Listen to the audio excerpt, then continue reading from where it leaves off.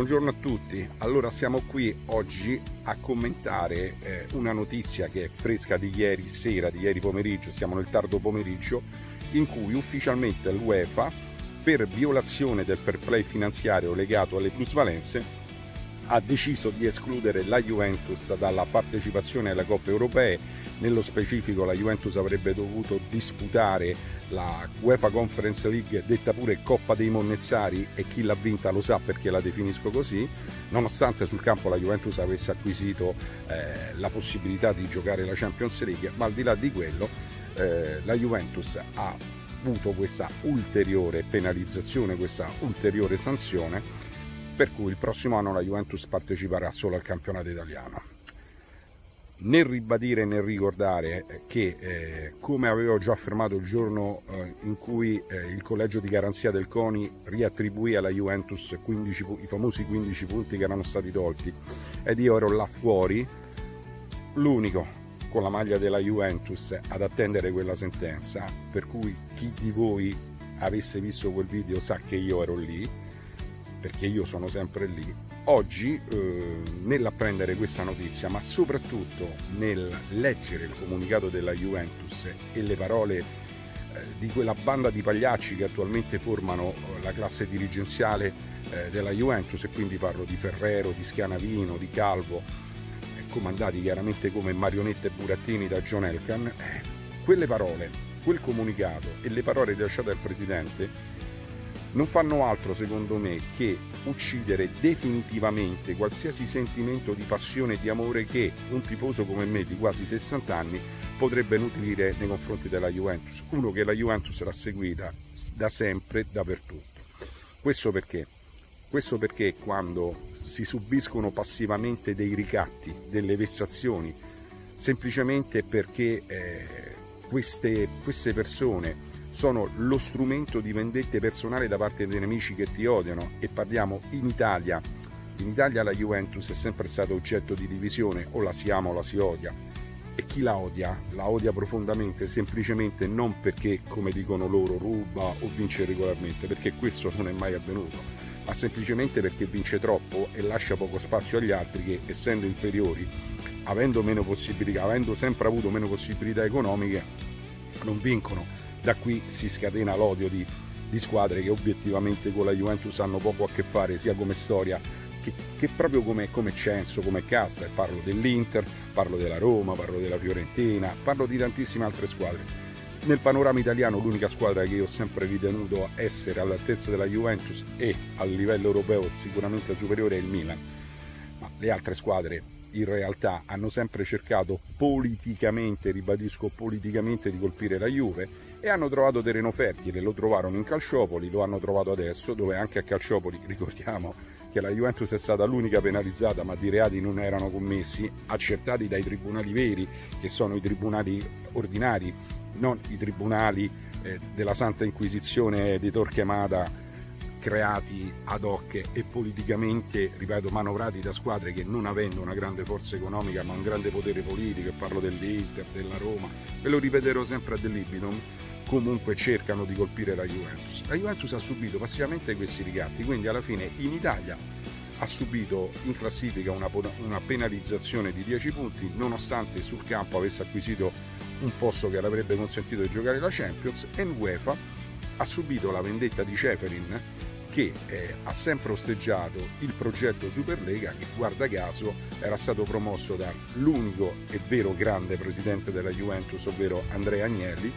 che eh, chiaramente aveva con Real Madrid e Barcellona deciso di ehm, eh, praticamente cercare eh, un nuovo format per queste manifestazioni europee proprio in virtù del fatto di cercare più possibilità economiche e reperire più fondi che consentissero ai club che partecipano di accedervi direttamente e non avere un broker, un intermediario come l'UEFA che alla fine non essendo una società, non rischiando nulla, tuttavia si tiene gran parte di questi soldi semplicemente perché è l'unico in una posizione di monopolio, lo ribadisco, che organizza le manifestazioni sportive.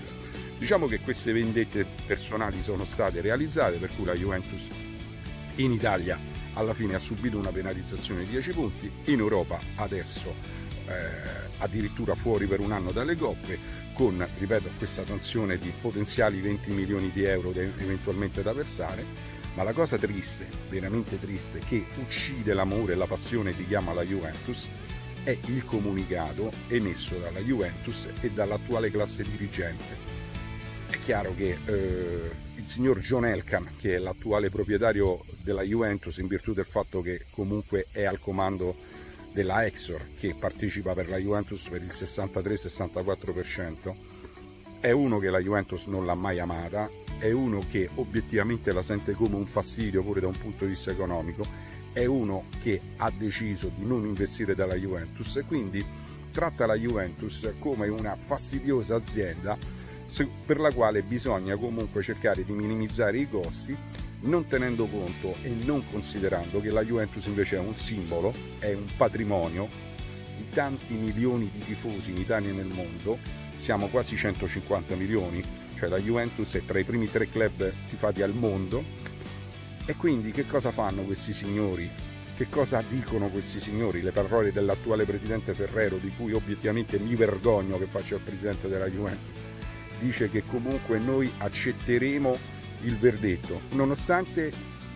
dicono loro nel comunicato noi abbiamo agito regolarmente.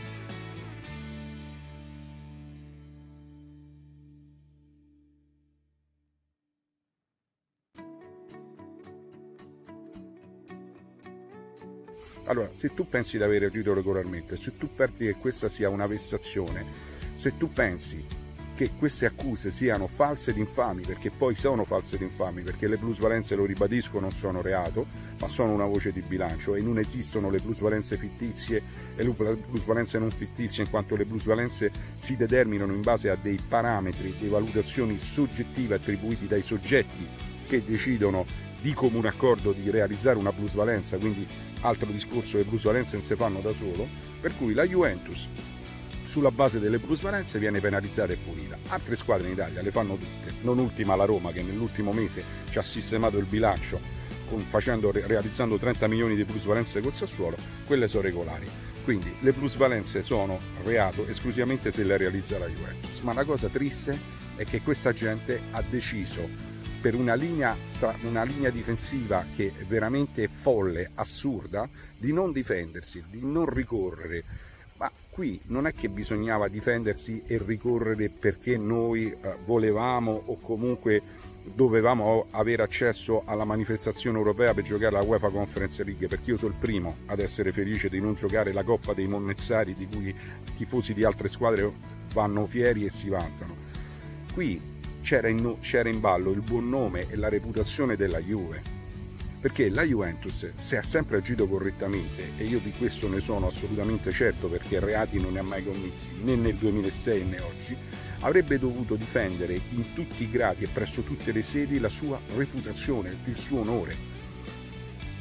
Facendo in questa maniera, grazie a quel genio di John Elkan e a quei quattro burattini che oggi stanno lì a dirigere la Juventus, e parlo di Ferrero, di Scanavino, eh, di Calvo, perché io i nomi li faccio di questa gente, abbiamo purtroppo avallato una leggenda metropolitana che alcuni cavalcheranno nel secolo e negli anni, che la Juventus è una squadra che vince in virtù del fatto che non perché c'è i giocatori migliori, non perché è la più forte, ma perché ruba, inganna e truffa. È chiaro che poi tutta sta roba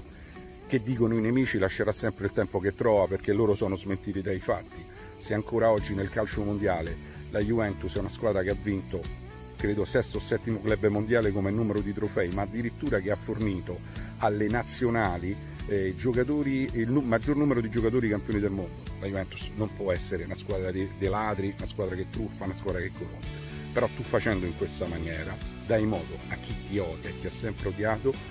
di aver dato veramente una base su cui nel tempo potranno dire che tu hai vinto, hai vinto rubando perché comunque quando ti dovevi difendere non ti sei difeso perché avevi la coscienza sporca.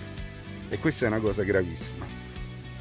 Io capisco che eh, al signor John Elkan della Juventus non importi niente. Quello che non capisco però è che lui doveva difendere la Juventus semplicemente perché la Juventus è un prezioso patrimonio ripeto umano culturale, sportivo della sua famiglia, di suo nonno Gianni Agnelli e di tutti i tifosi della Juventus, per cui ci costringe a noi tifosi a portare addosso una macchia indelebile, un'onta di essere tifosi di una squadra di banda, di una banda di ladri sostanzialmente, di una squadra che vince rubando, semplicemente perché lui in nome del politically correct del cavolo non ha voluto difendere la Juventus. Quando si è sotto ricatto, quando si è vessati da accuse false e infamanti, ci si difende, non si fa questa roba. Quindi io dico al signor Gionelca, al signor Ferrero, al signor Scanavino, al signor eh, Calvo di vergognarsi si dovrebbero vergognare per quello che hanno fatto e si debbono vergognare anche quei tifosi pavidi e vigliacchi che avallano questa politica dicendo no vabbè ma noi tifiamo per la Juve. Ma che tifi per la Juve? Oggi tu non sei più tifoso della Juve tu sei tifoso di una banda di ladri. E quindi tu non puoi accettare passivamente questa roba. Tu dovresti chiedere da tifoso con tutte le tue possibilità che la Juventus venga difesa da chi ha i titoli per difenderla, non da noi tifosi. Quindi, caro tifoso che avalli questa linea dirigenziale, questa linea, ti devi vergognare anche tu perché tanto tifoso della Juve non sei. E perché la Juventus storicamente è sempre stata una squadra che ha avuto giocatori top. Ed è stata una squadra top e non la linea giovani che stanno imponendo adesso di gente mediocre, mediocre che voi passivamente accettate pensando che la Juve dei giovani, la Juve dei giovani può pure essere bene, la Juventus si chiama Juventus proprio perché il latino significa gioventù, ma dei giovani forti, non queste quattro pippe che abbiamo oggi, di cui faccio i nomi, perché io i nomi li faccio, perché quando tu pensi che mentre gli altri club comprano top player per rimanere al, al vertice e tu fai credere a determinate persone che Corovella e Cambiasso, tanti per dirne due, tu puoi rimanere ai vertici, significa che ci stai prendendo in giro. Ci state prendendo in giro e quei tifosi che lo pensano credono che abbiano proprio pure dei nemici mentali. Detto questo, vi mando un grande saluto. Eh, visto che questo eh, video andrà su un nuovo canale, un nuovo canale che è il secondo canale che ho creato, vi chiedo possibilmente di iscrivervi, vi chiedo di attivare la campanella, e vi chiedo di seguirmi perché cercherò in questo periodo di seguire tutto il percorso che questi fenomeni del nuovo corso della Juventus faranno, nonostante il nostro amore per la Juventus rimarrà sempre immutato, ma io a questa gente non la sostengo più e li seguirò, sarò coloro che controlla il loro operato, nella speranza che Gionelca, Ferrero, Scanavino e Calvo si tolgano dalle scatole perché noi questa gente non la vogliamo, ok? Fino alla fine forza Juventus.